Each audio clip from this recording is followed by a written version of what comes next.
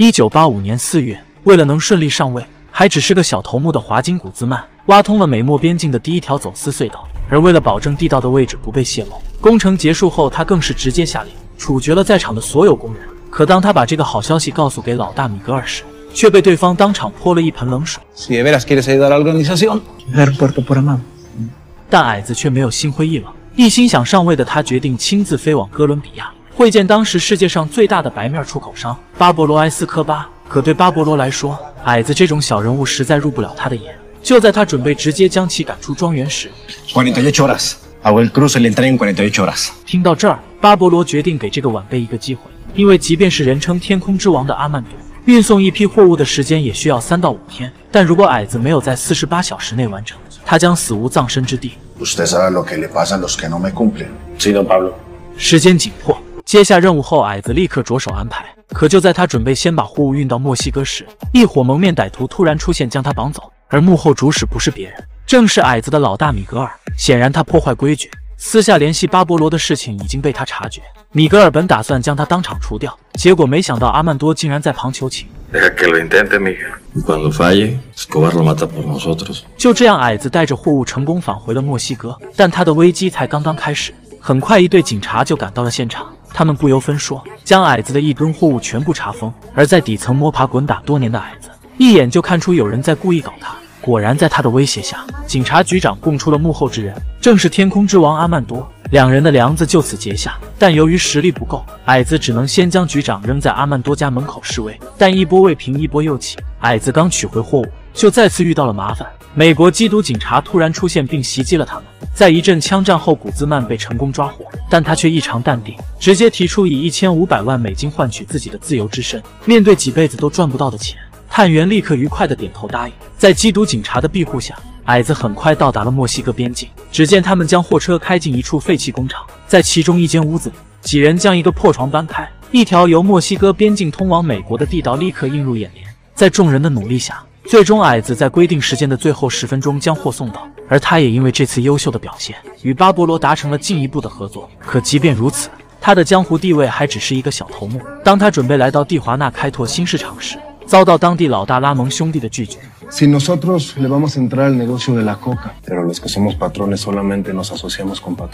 显然，拉蒙兄弟并不把现在的他放在眼里。但拥有巨大野心的矮子又怎么可能轻易善罢甘休？于是他在蒂华纳租下仓库，又花重金收购了一个辣椒工厂。矮子将货物藏在里面浑水摸鱼，经过一番操作，成功躲过了拉蒙兄弟的眼线。发财后，矮子拿着一大包现金和一辆崭新的跑车找到了米格尔，希望可以得到老大的认可，正式上位。不曾想，米格尔根本看不起矮子，不但将他侮辱一番，还直接把跑车钥匙丢在了他的身上。矮子被气得怒火中烧，但他很快便等到了上位的机会。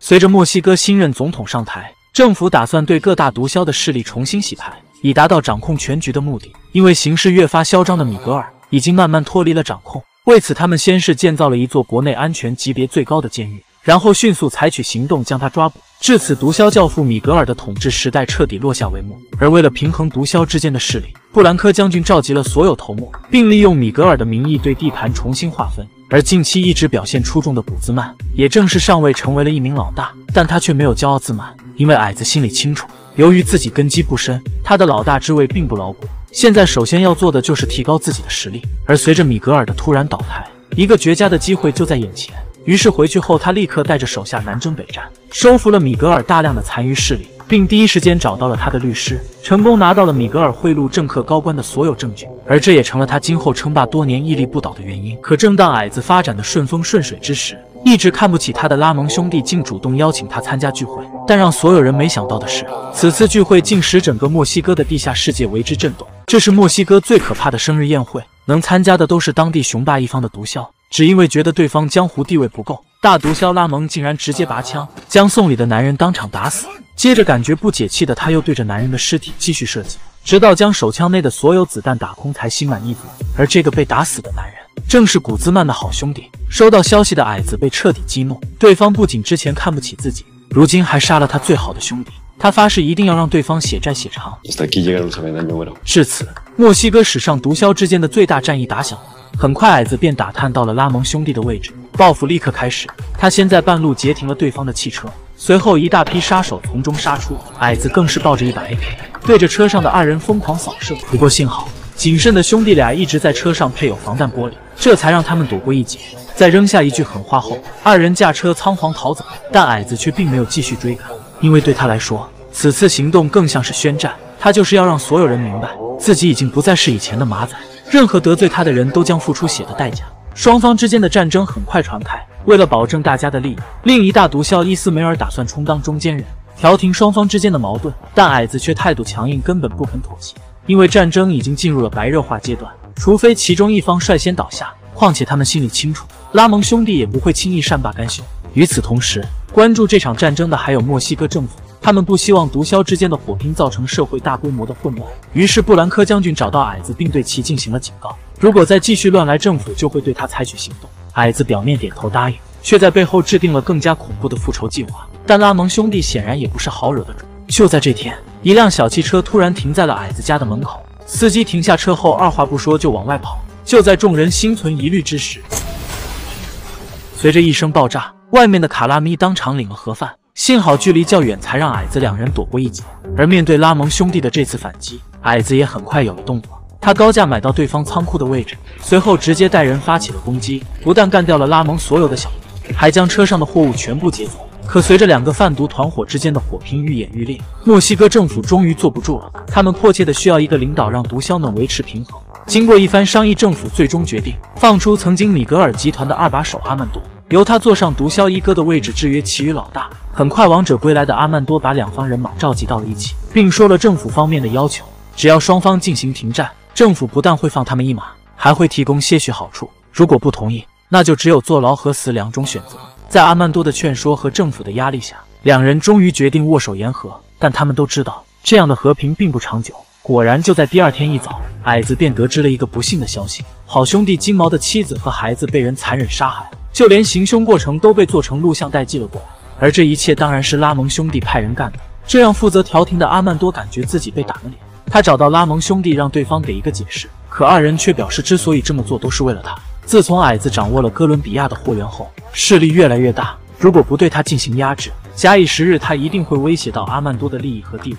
而另一边，面对毫无人性的拉蒙兄弟，矮子也被彻底激怒。他先是找到了大毒枭伊斯梅尔进行联盟，并抓到了杀害兄弟家人的凶手，为金毛报了仇。随后，矮子又给一位政客打去了电话。双方达成交易后，政客直接给矮子调来了一支军队。随后，他们全副武装来到拉蒙兄弟藏身的酒吧，对里面的人展开了无差别攻击。见此情形，拉蒙急忙通过厕所窗户逃了出去，但却有无数平民因此丧命。这次事件让政府高层愤怒不已，他们给阿曼多打去电话，并对他下了最后通牒：如果不能解决此事，就将他重新扔回监狱。而阿曼多也向政府下了保证，但他却没有直接展开行动，而是先下令停掉了对方的生意。虽然矮子很是不满，可毕竟阿曼多才是政府授权的毒枭首领，他只能暂时答应。但失去生意的矮子并没有心灰意冷，很快他又有了新的想法，他打算逐步掌控整个城市。于是他疯狂地买下大量的酒店和房产。但他不知道的是，一场危机即将袭来。很快，当地警察局长便找到了他，表示有个机会可以让他结交最高检察长，只需要给他一百万美金就会安排好一切。面对这么好的结识机会，矮子当即答应了下来。可一转身，局长就把他的行程五百万卖给了死敌拉蒙。得到消息的拉蒙立刻组织报复，他用重金在别的城市聘请了一大批杀手，计划在矮子的必经之路发动袭击。然而，从外地来的杀手们并没有见过矮子，只记得他的汽车颜色和型号。于是到达目的地后，杀手们立刻对着一辆同款汽车疯狂输出。巨大的枪声很快传到了矮子的耳中，并让他提前做出应对，躲过了一劫。但此次事件却造成了七人死亡。这其中甚至还包括一位极有影响力的红衣大主教。很快，该事件被媒体大规模公开报道。面对如此恶劣的影响，政府必须给民众们一个交代。经过高层们一番商讨，他们最终决定让矮子成为这次事件的替罪羔羊，对外宣称是他组织并杀害了主教和其他无辜的人。随后，政府更是发布了五百万美金的全国通缉令。进退两难的矮子只能给老大阿曼多打去电话，希望他可以帮自己一把。可就在二人通话时，阿曼多竟旁敲侧击打听他的藏身位置。此刻，矮子才终于明白，这一切都是阿曼多设下的圈套。他直接挂掉电话，开始了接下来的逃亡。他带着亲信来到曾经藏钱的地点，打算将其挖出作为跑路资金。可当矮子全部将钱挖出后，却被气得当场口吐芬芳。原来由于地下潮湿，导致这笔巨款竟然全部发霉腐烂。无奈他只能先和亲信藏在酒店。电视正持续播放着他的通缉信息。经过商议，矮子决定先想办法逃到萨尔瓦多，因为他在那里还有一批五吨重的货物，而这也将是他唯一东山再起的资本。此时他急需大量资金支持，可他的家人和兄弟都遭到了政府的严密监视。无奈，矮子只能联系他的女友帮忙，由他将自己需要钱的信息转告给好兄弟金毛。机智的金毛在政府的严密监视下，静悄悄将钱藏进了垃圾袋，并成功用垃圾车辆带了出去。不久后，女友把钱送了过来。可就在矮子高兴的准备前去接应时，刚一出门便被警察拦了下来。原因竟是他们的车辆没有牌照，这让车上的两人虚惊一场。根据当地法律，警察要对他进行罚款，并把汽车拖走。但这时矮子却主动叫住了警员，表示自己愿意出一万美金，只需要他帮忙引荐局长。面对这么好赚的钱，矮子认为对方肯定会愉快的答应。却不曾想，在汇报完后，小警察竟直接掏出手枪将两人押上了警车。见到警察局长后，由于矮子刮掉了胡子，对方愣是没认出来。站在他面前的，竟是政府悬赏五百万美金的头号毒枭华金古兹曼。可矮子却直接自爆了身份。矮子表示，如果局长肯帮自己逃到境外，他就可以单独拿到一百万美金，不用和任何人平分。但正直的局长却打算依法办案，因为捉到古兹曼不但可以得到赏金，还可以立下大功，扬名立万。可就在矮子把金额提高到二百万美金时，局长马上就真香了，亲自将矮子护送出境，放了他。而此时他的五吨货物也已经到达了指定位置，就等他前去指挥交易。可令人没想到的是，负责看守货物的小弟竟把这条线索高价卖了出去。得到消息后，墨西哥政府立刻采取了行动，而刚到危地马拉的他。还不知道自己的行踪已经被人出卖。虽然边境到处都贴着他的悬赏通告，但矮子却丝毫不慌，因为早在进城前，他就已经用重金买通了当地的军官。对方不但热情地接待了他，还为他引荐了当地大毒枭赫雷利亚。矮子想跟他达成合作，可赫雷利亚却认为如今四处逃窜的矮子根本没有与他合作的资本。矮子表示自己还有五吨货物，只要对方同意合作，他就多让出四千万美金的利润。面对如此诱人的条件，赫雷利亚当即答应了下来。不过他要求必须先见到货才可以继续往下谈。于是为了成功取回货物，矮子花费重金聘请了一大批当地杀手。可通过打探到的消息，众人却得知缉毒局已设下了埋伏，就等着矮子取货自投罗网。但如果丢失这批白面，矮子将再无翻身的可能。在三思考下，他最终决定殊死一搏，通过武力将货抢回。然而杀手们却打起了退堂鼓，他们可不愿意得罪美国佬。听到这，矮子失去了理智，直接拔出手枪进行威胁。可就在这时，美国缉毒警察突然出现，发起了攻击。原来是他们见矮子迟迟不来取货，决定主动出击。好在矮子身手敏捷，带着亲信成功逃了出去。可当二人回到住处后，却发现这里早已被警察包围，无处可去的他，打算用仅剩的一百五十万美金当做见面礼，投靠毒枭赫雷利亚以寻求庇护。这次不再是合作关系，而是直接成为对方的马仔。他找到之前收买的军官，希望他充当中间人，安排双方见面。可当他到达指定地点后，士兵却突然将枪口对准了两人。原来这一切都是军官的阴谋。他觉得矮子已经没有价值，打算再利用对方换取一笔赏金。没办法，矮子只能孤注一掷，提出用自己的一百五十万买两人的自由。虽然指挥官愉快的点头答应，可他拿到钱后却没有履行承诺，反而让人将矮子等人再次抓了起来。随后把情况向上级做了汇报。至于他的五吨货物也被缉毒局全部收缴。为了将矮子顺利押送回国。政府高层直接派出了几百人的特种部队，墨西哥最高军事统帅布兰科将军与缉毒局高层更是不远万里亲自前去指挥。可矮子不愿意放弃一丝逃跑的机会，在回去的路上，他找到布兰科将军，并对他说自己掌握着大量政府高官的受贿证据。但布兰科将军对此却毫不在意，起身就要离开，毕竟火没烧到他自己屁股上。然而接下来矮子说出的一人却让布兰科不淡定了：总统的亲兄弟竟然也和毒枭们有过交易。如果这个消息曝光出去，肯定会对总统有不利的影响。于是布兰科将军马上向总统汇报了情况。明白事情严重性的总统立马下令，到达墨西哥后要越过庭审，迅速将矮子关进安全等级最高的监狱中，不让他有对外说话的机会。但令布兰科将军没想到的是，当他回到墨西哥后，早已物是人非，自己的位置已被手下康拉多所取代。原来是康拉多趁将军抓捕矮子的时候，暗中收集了他大量的犯罪证据，并将其拿给总统，得到了他的信任。成为了总统的第一红人，如今总统更是将处理矮子的案件交由他全权负责。为了让他保守秘密并替政府背锅，狡猾的康拉多根本没给矮子谈判的机会，而是直接以家人的性命作为威胁，逼迫矮子听从自己的命令。可就在他准备离开时，矮子竟又爆出了更大的瓜，表示自己手里还掌握着总统最大政敌的犯罪信息。如果他们可以合作，总统就能轻易扳倒这个敌人。面对如此有价值的情报，康拉多成功与他达成了合作，但他要求矮子必须对着媒体按他的交代承认罪行，而作为交换，自己可以想办法给他换一座舒服点的监狱。就这样，矮子在媒体面前承认了一切。然而令他没想到的是，正当矮子认为马上要过上舒坦日子时，接下来发生的将会让他铭记终身，将他关进了安全等级最高的监狱中。而能被送到这里的，都是该国最穷凶极恶的罪犯。每位犯人都是单独关押，并且不能和任何人讲话。一旦犯错，就意味着要接受地狱般的惩罚。而矮子进来的第一天，就被狱警上了一课。队长训完话后，立刻要求他脱光衣服进行深蹲。一旦中途愣神，体罚还会再加上一倍。见此情形，在外面杀人如麻、嚣张至极的矮子，现在却不敢有一点脾气。体罚结束后，矮子被关进了单独牢房。第一天入狱的他打量着牢房中的一切。这一晚他彻夜难眠。而第二天天还没亮，他们便被狱警叫了起来。早饭的时间只有五分钟，吃的是难以下咽的食物，并且少得可怜。很快到了望风的时间，矮子仔细地打量着这座牢固的监狱，在想着自己曾经奢华的生活。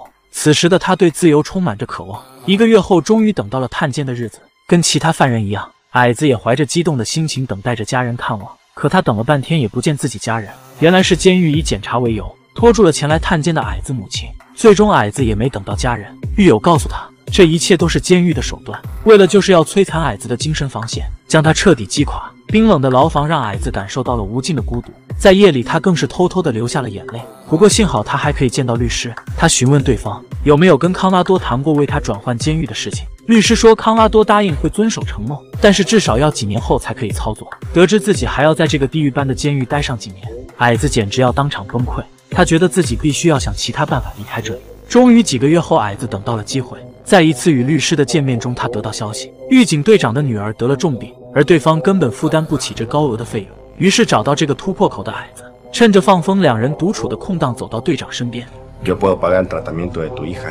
可没想到，队长在看了矮子一眼后，却直接将他一顿暴打，甚至连晚饭也不让矮子吃了。不过还好，被打伤的矮子遇到一位好心的医生，对方不但给他细心检查了身体，还给他开了几片安眠药。要知道，在这种地方能睡个好觉，可是所有犯人的奢望。可在吃午饭时，矮子却主动把药分给了旁边的狱友。但他不知道的是，正是自己的好心险些害死对方。